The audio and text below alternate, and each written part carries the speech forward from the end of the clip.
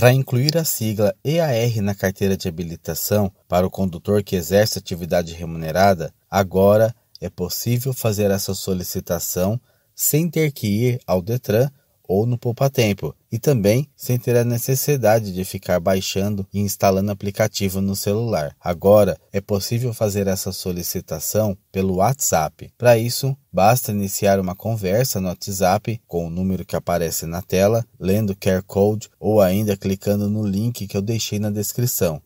Iniciando a conversa, mandando este olá que já vem preenchido, você receberá como resposta esse menu para escolher sobre qual assunto deseja atendimento. No nosso caso, vamos solicitar a terceira opção, CNH. Para isso, basta digitar o número da opção desejada e enviar. Nós vamos digitar o número 3 e enviar. Na sequência, novamente, vamos selecionar o tipo de serviço desejado, agora dentro do assunto CNH. Como estamos querendo incluir a sigla EAR na CNH, vamos digitar o número 10, que é o número referente a esse serviço. Agora será realizado um procedimento de certificação de identificação. Clicando sobre o link enviado, seremos direcionados para fazer o login do atendimento. Aqui é só digitar o CPF e a senha de acesso ao portal do Poupa Tempo. Então já fica a dica: se você não tem cadastro no portal do Poupa Tempo, Antes de realizar todo esse procedimento pelo WhatsApp, você precisa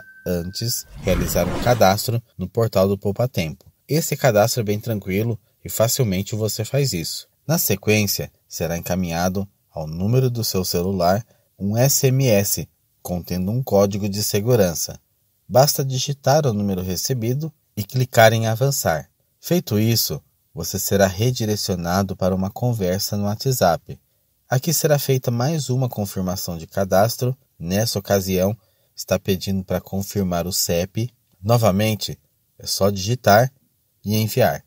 O sistema fará uma conferência. Na sequência, você receberá como resposta algumas informações acerca do serviço solicitado. Eu não vou ler tudo nesse momento, mas se você quiser, eu transcrevi esse texto na descrição. Você poderá ler no momento que quiser. Aqui tem uma informação importante sobre o pagamento. Atenção, a taxa de exame é paga diretamente ao psicólogo. No caso, a taxa do exame psicotécnico. As taxas do Detran são pagas nos bancos conveniados, informando o CPF do motorista.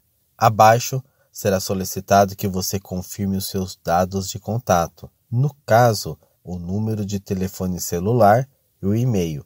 Estando correto, é só digitar em sim. Agora temos um termo de ciência. De igual forma, eu transcrevi esse texto na descrição, caso queira ler. Aqui, basta clicar sobre li e concordo. Por favor, confira os dados abaixo. Aqui temos os seus dados cadastrais. Estando tudo correto, não havendo necessidade de qualquer alteração, é só clicar em sim. Podemos enviar sua CNH para o endereço abaixo? Aqui você pode escolher o endereço descrito acima que é o endereço de seu cadastro no Detran, ou indicar um outro endereço para receber a CNH. Lembrando que aqui você não está alterando o seu endereço de cadastro no Detran, você está apenas informando o endereço no qual deseja receber a sua CNH, que será enviada pelos correios. Eu vou clicar em nesse endereço e na sequência somos direcionados para agendamento do exame psicotécnico. Abaixo você tem algumas opções de datas para a realização do exame. Eu vou escolher a última opção, que seria para realizar o exame no dia 15 de junho de 2023. Então, nesse caso, eu vou digitar e enviar o número 4, que é o número referente à data escolhida. Na sequência, nós vamos escolher o período ao qual queremos o atendimento. Eu vou escolher o período da manhã, clicando sobre a palavra manhã. Feito isso, Vamos escolher o horário para o exame psicotécnico.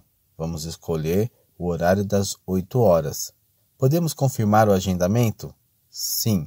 Na sequência, temos os dados do agendamento e do endereço para o recebimento da CNH. Confirma o agendamento dos exames CNH? Sim. Agendamento realizado com sucesso. Aqui você tem os dados do agendamento, nome da psicóloga, data, horário, endereço do atendimento, o valor do exame psicotécnico é de R$ 131,90 Como dito anteriormente, esse valor é pago diretamente ao psicólogo. Além da avaliação psicológica, é necessário pagar a taxa de emissão da CNH, no valor de R$ 124,06.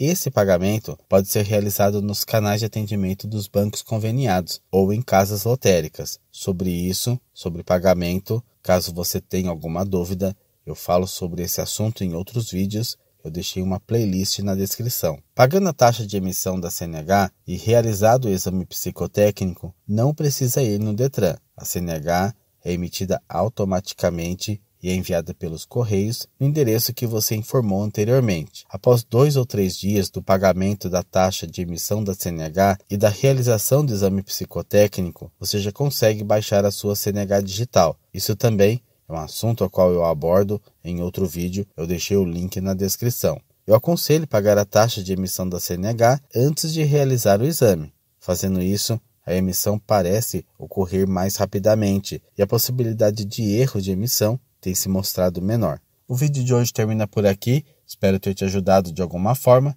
Se você ficou com alguma dúvida, escreva nos comentários. Um forte abraço e até uma próxima.